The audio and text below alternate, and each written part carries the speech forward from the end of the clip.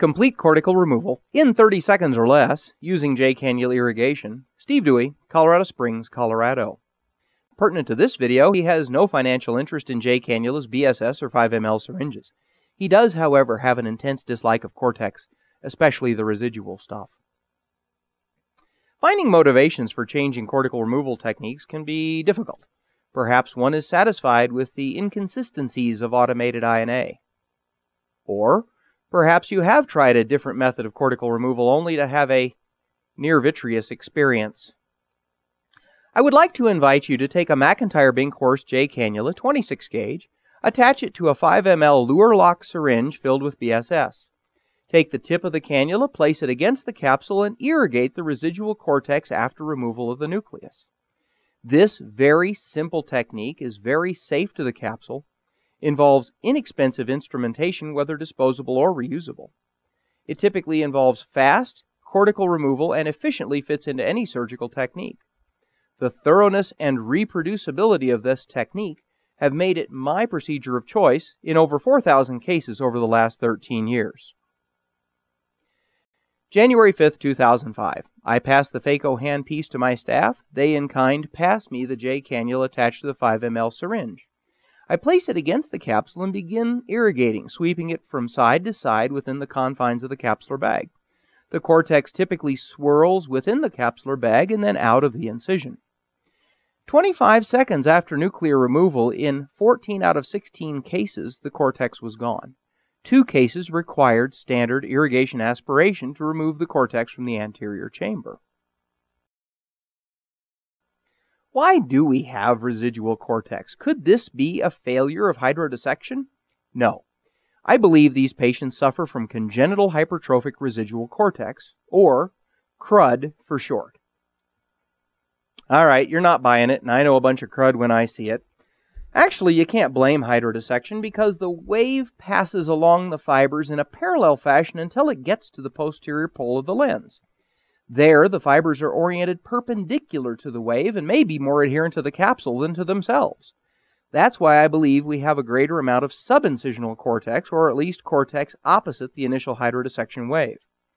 The J cannula has a tremendous advantage in that it can complete the hydrodissection wave but after the bulk of the nucleus has been removed. This J cannula irrigation can dissect basically any amount of corticocapsular adhesions, whether they involve small wisps of cortex or a nearly intact cortical bowl. Our weapons of choice today are McIntyre Binkhorst 26 gauge J cannulas.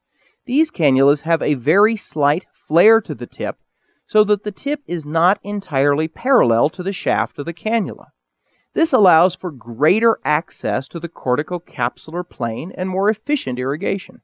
These innocuous looking cannulas should not be used for aspiration. Typically, one will aspirate in the subincisional space where visualization is poor. The vacuum that can be created at the tip of these cannulas can be quite impressive and may damage the capsule. These tips are also sufficiently small to fit through virtually any surgical incision. When beginning the irrigation technique, only use enough pressure to visually displace the cortex. With practice, one may start compressing the syringe with greater force, and at maximum compression, as seen on the right, the stream will shoot 5 to 6 feet across the operating room.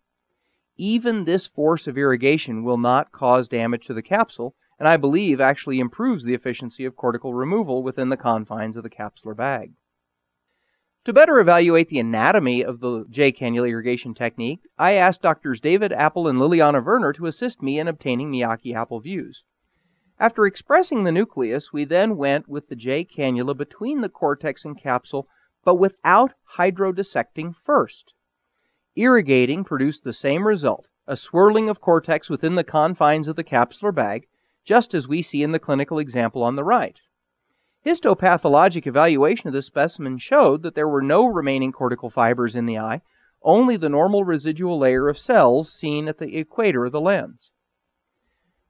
I was quite pleased with this result, but just as pleased to see that this technique appears to be very safe to the zonules.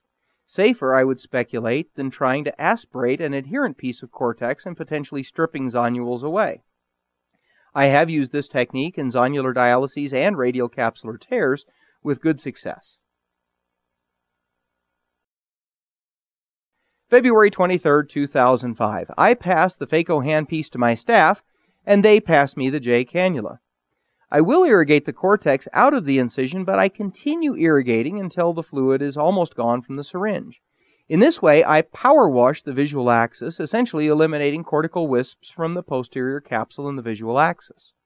Now, 5 milliliters of fluid is typically sufficient, but on this particular day, I ran into two patients suffering from congenital hypertrophic residual cortex.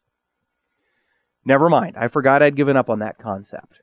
Actually, it probably is a little unfair to ask 5 milliliters of irrigating fluid to remove all the cortex every time.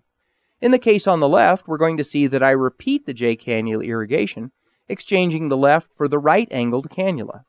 In the example on the right, I'm going to inflate the posterior capsule with cohesive viscoelastic and in the process express the cortex out of the incision.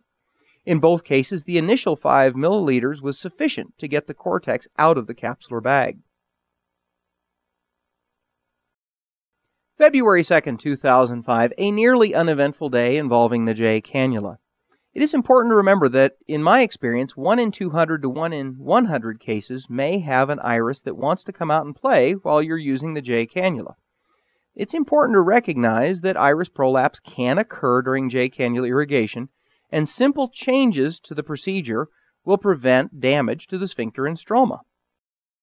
In this particular example, I reduced the irrigation force redirected the flow forward as I depressed the iris with the cannula.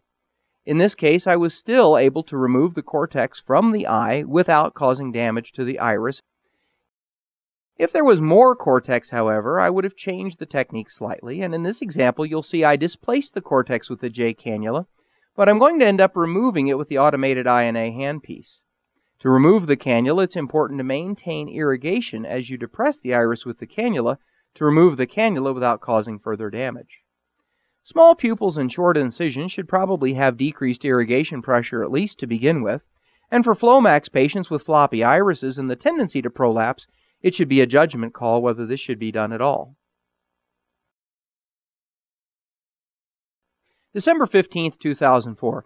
This relatively small pupil demonstrates the greatest efficiency of the J cannula in that the irrigation is not dependent upon visualization for cortical removal. Despite the fact that I'm irrigating with tremendous vigor, there is no harm to the capsule. The hooking of the incision as we withdraw the cannula is not pretty, but does not result in harm to the eye.